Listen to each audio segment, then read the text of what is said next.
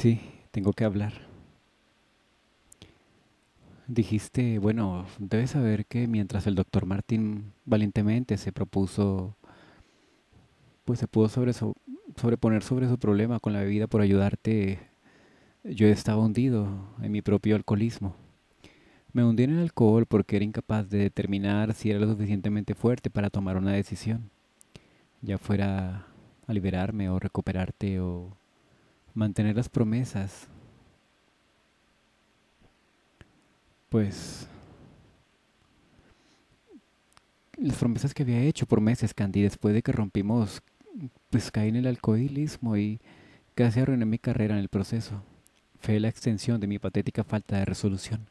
Lo hice durante estos días como perdí mi dignidad, mi orgullo y mi inocencia en unos pocos meses. Es un cuento que a tus castos oídos no les gustaría escuchar, señorita Andri. Si me hubieras visto en ese entonces, te hubieras avergonzado de mí y arrepentido de haberme conocido. Sí te vi, gritó ella levantándose y rompiendo a llorar mientras una extraña fuerza poseía su cuerpo. Te vi. Me dolió verte así, pero eso no cambió mis sentimientos hacia ti. Esta vez fue Terry que fue sorprendido. ¿Me viste? Preguntó con incredulidad. Tímidamente ella apenas asintió, pero aún así él la entendió. Luego, suspirando profundamente, ella juntó el valor para hablar. No te amé, menos porque tuvieras el corazón roto y hubieras dejado las circunstancias te abatieran. Te amé incluso más porque cuando vi que superabas tu intoxicación entendí que era lo suficientemente grande para conquistar tus demonios. Te vi en esa vergüenza de teatro y...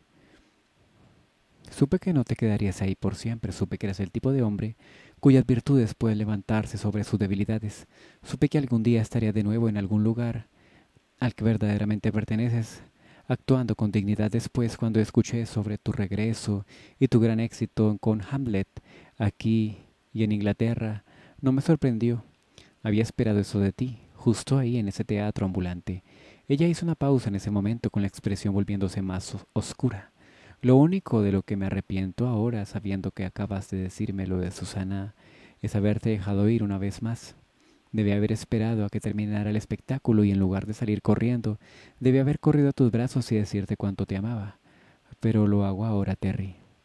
Te amé entonces y te amo ahora, como lo he hecho siempre todos estos años y siempre lo haré y aún así sales de mi vida nuevamente, pero por favor no lo hagas.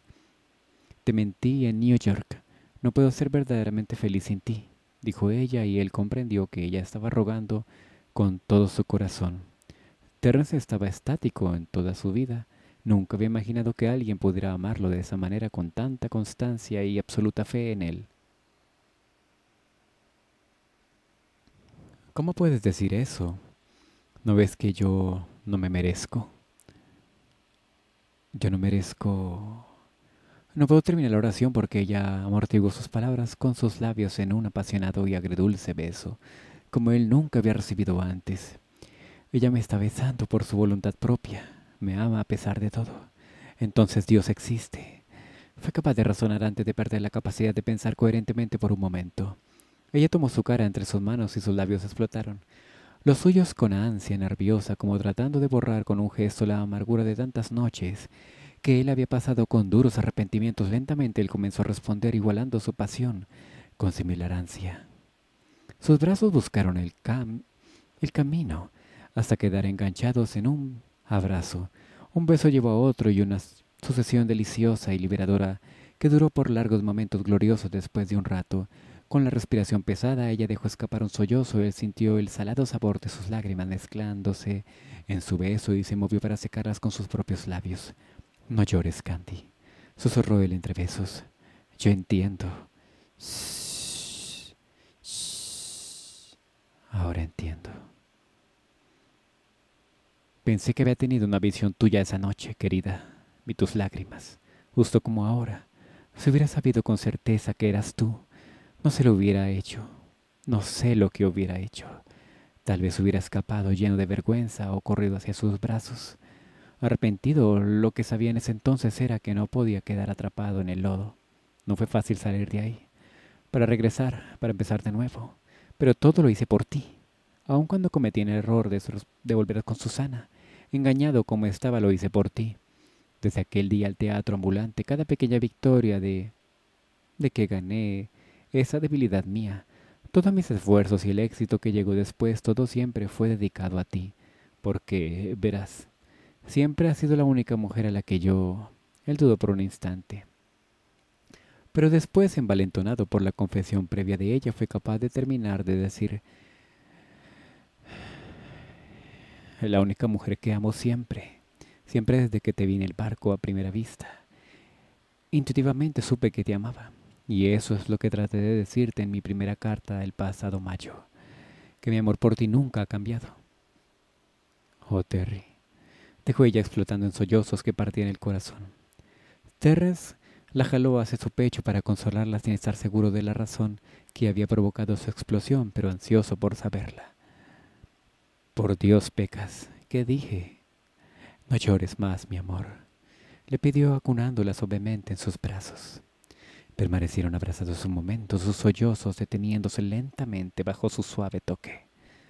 No, Terry, no dijiste nada malo, comenzó a decir ella cuando había recobrado la habilidad de hablar coherentemente, el solo que finalmente dijiste que me amabas. No sabes cuánto he deseado escucharte decir eso, confesó ella. Entonces te prometo decirlo frecuentemente, de ahora en adelante, así que acostúmbrate a escucharlo y no llores. Contestó él con una leve sonrisa apenas curveando sus labios. De pronto una violeta ráfaga abrió la puerta de Terrence no había cerrado bien, los amantes rompieron su abrazo y corrieron a la entrada frente a sus confundidos ojos un viento de lo más poderoso y gélido barría los bosques con una furia inesperada. No lo puedo creer, dijo ella con incredulidad. Estaba soleado y brillante cuando llegamos. ¿Dónde vino esa tormenta de nieve? No sé, Candy. Pero por lo que parece no vamos a salir de aquí, o por lo menos en unas cuantas horas, concluyó él apretando inconscientemente la silueta de Candy contra él protectoramente. Pero luego, viendo la fuerza del viento, viento añadió. Eh, ah, creo que sería buena idea cerrar las, las contraventanas. Justo cuando comenzaban a golpear ruidosamente contra las paredes mientras las cerraba una por una, Candy se dio cuenta de que pronto toda la casa quedaría a oscuras, así que decidió sacar unas velas de la alacena. Cuando Terran regresó a la cabaña y de seguro aseguró la puerta, la habitación estaba ya iluminada por la luz tenue de las velas. La joven estaba de espaldas, ocupada apilando leños en la chimenea. Déjame hacer eso, dijo él tomando su lugar. Entonces voy a hervir algo de agua. Creo que nos servirá una taza de té ahora, aun cuando lo tendrás que tomar sin limón, comentó ella con una tímida sonrisa.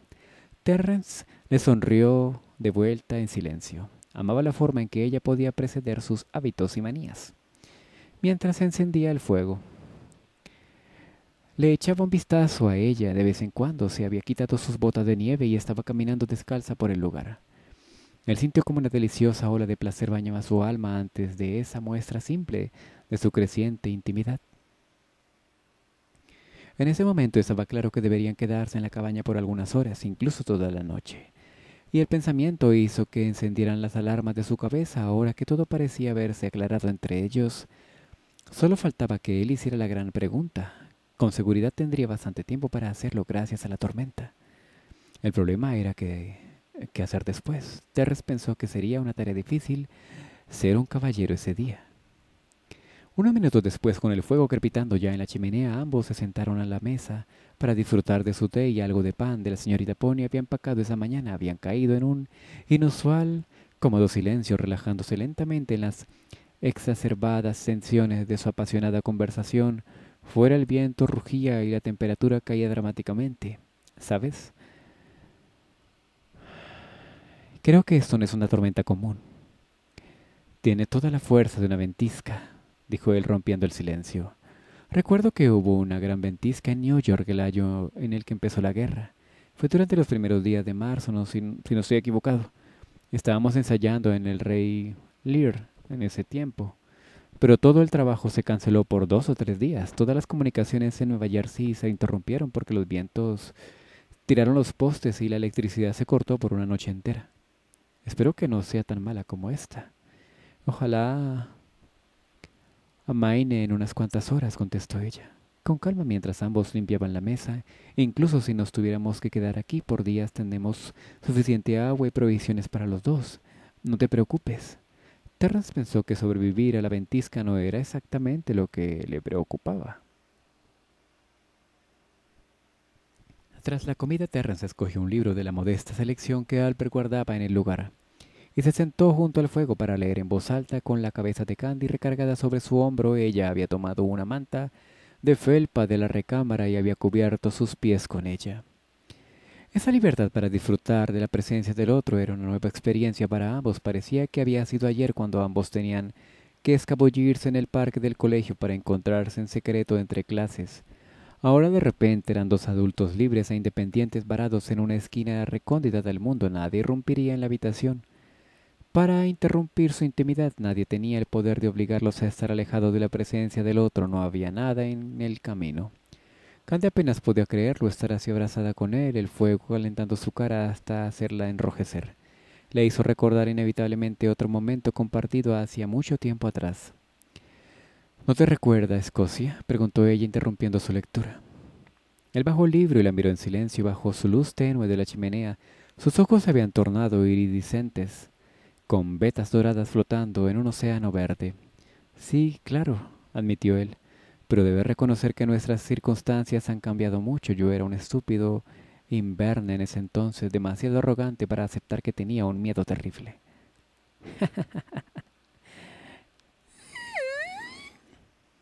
Ella rió fuerte por su comentario. ¿Mm? Candy, ¿qué dijiste? Ella rió, rió fuerte por su comentario. Tú me tenías miedo, no sabías que eso fuera posible, dijo ella con incredulidad. Estoy siendo sincero, Candy. Tenía miedo de lo que sentía por ti, confesó él dejando el libro a su lado. Era algo tan abrumador. Y fuera de control que temía lo que pudiera pasar si lo descubrías. Si lo mostraba podrías terminar lastimándome como nadie, o por lo menos eso creía. Era por eso que jugueteaba contigo, te picaba con bromas groseras y te alejaba con palabras rudas de vez en cuando. Pero la verdad es que... Esa noche mientras mirábamos el fuego, como ahora me moría por tenerte entre mis brazos, como en este momento, dijo él presionando suavemente su cabeza contra su corazón, besando su cuello. Por años me sentí me arrepentí de mi cobardía ese instante. Esa tarde. No sé cómo hubiera reaccionado si te hubieras atrevido, preguntó ella. Me hubieras dicho que me quitara y que me hubieras abofeteado. Se rió de todo corazón. Me alegra que parezcas haber renunciado a ese mal hábito, amor. Por favor, no menciones eso. Si no hubiera reaccionado tan violentamente esa vez, Candy se detuvo a la mitad de la oración. De repente Terran se puso serio e instintivamente ella leyó la pregunta que estaba pintada en sus ojos.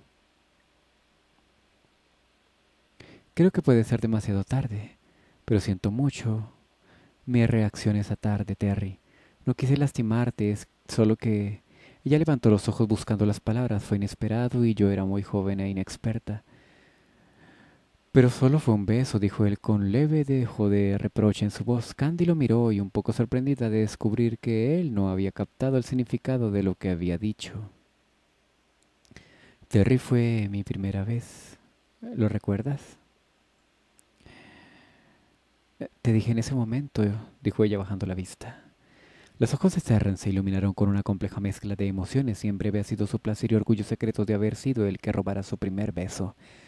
Pero el dolor que había sentido cuando ella lo había comparado con Anthony en un momento como ese había amargado lo... De otra manera pudiera haber sido el recuerdo más dulce de su adolescencia, incluso como adulto.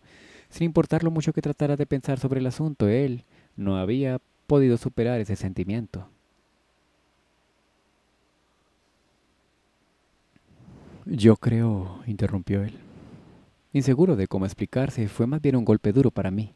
Actué impulsivamente, pero mi corazón estaba haciendo su mejor esfuerzo para expresar lo que no podía decir con palabras, y entonces hizo una pausa, sus ojos buscando un punto imaginario en el vacío. Lo mencionaste a él. diste a entender que él nunca hubiera sido tan grosero como yo lo, como yo lo era. Candy, que había estado observando el remolino de emociones en su expresión, se dio cuenta por primera vez que sus palabras no habían herido más que su bofetada. Terry, lo llamó ella, tomando su cara para obligarlo a mirarla directamente. Lo siento, estaba demasiado impactada y confundida para entender cómo te hirieron mis palabras siendo una chica. Imagina que mi primer beso ocurriría mucho después, en circunstancias distintas me tomaste por sorpresa, cuando mis propios sentimientos no estaban definidos, eran desconcertantes, no conocidos. Nunca había sentido lo que tú provocabas en mí, pero hoy Terry no estás hablando con la misma chica asustadiza y pasmada que solía ser. Ahora sé que ningún hombre se puede comparar contigo. ¿Me perdonas, por favor? Las palabras de Candy se colocaron en los oídos de Terrence como una suave brisa estival. Para que alguien que había crecido sintiéndose rechazado escuchara decir que no valoraba más que a cualquier otro hombre era un bálsamo, calmante para sus heridas abiertas lentamente mientras algo parecido a la confianza comenzó a crecer en él, pudo reconocer su propia falta. Solo si puedes perdonar también mi rudeza, contestó finalmente la pregunta de Candy tras una pausa que comenzaba a preocuparla. Hubiera querido besarte más tiernamente, pero me temo que como principiante en el amor era tan ignorante que estaba tan confundido como tú. Y claro, haberte devuelto la bofetada fue imperdonable, aceptó él, verdaderamente avergonzado de su reacción. Considera todo perdonado entonces, contestó ella con una sonrisa que se selló con un nuevo beso mucho más placentero en su más bien torpe primer intento. La adolescencia es una experiencia aterradora, ¿no? dijo él cuando se separaron sus labios. En cualquier caso, pasaría por todo de nuevo, solo para tener el derecho de robar tu primer beso una vez más, concluyó él, su boca curvándose nuevamente en su característica pícara sonrisa. Se quedaron un momento en los brazos del otro sin decir nada. Terra necesitaba algo de tiempo para digerir el estímulo de su ego que la confesión de Candy le había dado y ella agradeció la oportunidad de recuperarse de todas las emociones que su conversación había provocado en ella.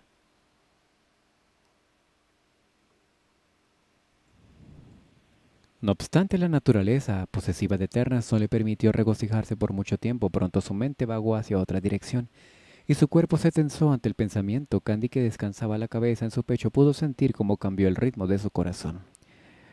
Candy, comenzó él un poco inseguro de lo que iba a decir. ¿Sí? No sé si deba preguntar. La joven se alejó de su abrazo solo lo suficiente para verlo inquisitivamente. Pero ella lo animó. No olvídalo, no es importante, dijo él cambiando de opinión. Terry, eso no va a funcionar. Si tienes una pregunta, debes hacerla, insistió ella. Terry frunció los labios, aún dudoso, pero tras un momento finalmente se atrevió a preguntar. Dices que todos esos años tú has seguido amándome.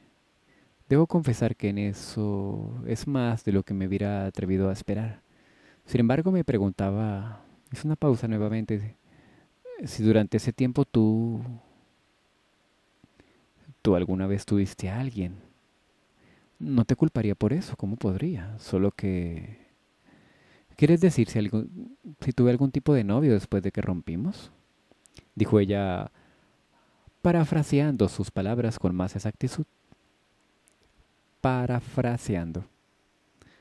Bueno, sí, asintió él evitando su rostro, nervioso ante la respuesta que pudiera darle. Esa vez Candy estaba impactada, nunca había visto una mirada tan infantil en sus ojos normalmente serios. No un novio fijo, comenzó ella lentamente, pero como midiendo cada palabra, asistí a algunos bailes en compañía por alguno que otro caballero, que Annie me presentaba, tal vez salí en algunas citas. Entonces hizo una pausa para ver su reacción. Él no pronunciaba palabra manteniendo la vista en otro lado, pero nada serio surgió de esas ocasiones. Eso frustraba a Annie inmensamente. Pero nunca me sentí cómoda con ninguno de esos hombres. Era muy difícil saber si estaban verdaderamente interesados en mí o en el dinero que pudiera heredar. Además, no lo podía evitar. Comparaba a todos los hombres que conocía contigo. Lo hacía... Todos parecían caer de mi gracia. Concluyó alcanzando su mano para acariciarla. El pecho de él se relajó y su mano se abrió para que pudiera tocar su palma, haciendo la caricia más intensa. Él no pudo contestar en silencio lo observó parpadeando nerviosamente mientras entrelazaba sus dedos. La luz de sus ojos le dio...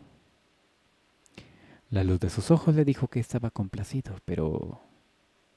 Algo en sus labios, algo en sus labios revelaba que dudaba, como buscaba las palabras que decidir a continuación. Chicos, chicas, tengan un día maravilloso, espectacular. Dios me las bendiga. Sigamos con esta increíble historia maravillosa, espectacular. Dios mío, es impresionante, es que no hay dos. Entonces, nos vemos en el siguiente episodio. Recuerden que cuando la historia termina, yo cerraré con, esta historia en particular. Por favor, estén atentas para que la escuchen completamente. Porque no estoy seguro si la escritora me vaya a hacer lo que me hizo la otra chica. No voy a juzgar a nadie. Yo digo que cada quien a César lo que es del César, ¿no les parece? Está muy bien. Terminamos la historia y preferiría eliminarla o esconderla. Dios me las bendiga. Por eso estén muy atentas.